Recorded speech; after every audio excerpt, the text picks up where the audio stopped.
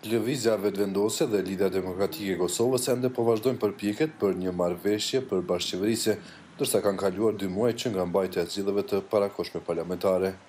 Megjithëse të dyja subjektet kanë arritur pajtim për programin qeverisës, ato po përballen me një ngërç për ndarjen e pushtetit.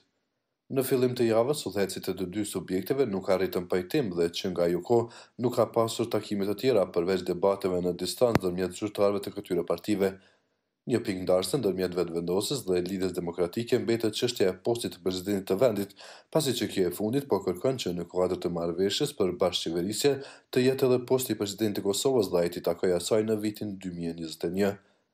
Ismet Kryeziu nga Instituti Demokratik i Kosovës thotë për Zërin e Amerikës se çështja e postit të presidentit të vendit nuk do të duhej të ishte pikë ndarëse në mes të këtyre dy subjekteve. Tani këto dy subjekte politike bazuar në këtë koalicion qeveris, nuk është se janë koalicion i unitetit kombëtar edhe kanë votë gjerë. Këta nuk kanë votë gjerë, kanë dikun gjashtëdhjetë e shtatë vota, e cila nuk do t'ja mundësonte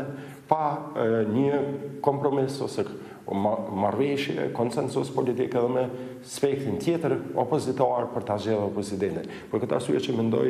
përcaktimin nga tash, qoftë i personalitetit që do të jetë, qoftë i subjektit politik që do ta ketë, do të jetë shumë e vështirë për këtë koalicion. Analisti Vigan Qorrolli thotë se rezultatet e zgjedhjeve të gjashtë tetorit kanë treguar vullnetin e qytetarëve dhe se sipas tij, dy subjektet duhet të ndërtojnë koalicionin qeverisës pa menduar për poste tjera. Edhe posti i presidentit i ka vendosë në pozitë pabarabartë dy palët duke kërkuar që në pranverën e vitit dy mijë e njëzet e një të negociohet një pozitë për të cilën ato paraprakisht as që kishin diskutuar dhe siç ndodhë rëndom në demokracitë perëndimore ato të mirëfillta palët mospajtohen për qëllime programore por jo për qëllime postesh tek ne ndonëse jemi Demokraci e brishtë, ka ndodhur e kundërta, që për postet prishet pazari por jo për parime. Analisti Ismet Kryeziu thotë se Kosova aktualisht ndodhet në cikël normal të diskutimeve për koalicion qeverisës dhe se sipas tij procesi në tërësi po shkon në hapa të sigurt. Do të thotë janë disa praktika në botë që mendoj se edhe Lidhja Demokratike dhe Vetëvendosja janë duke shkuar në këto praktika të cilat janë të shëndetshme për demokracinë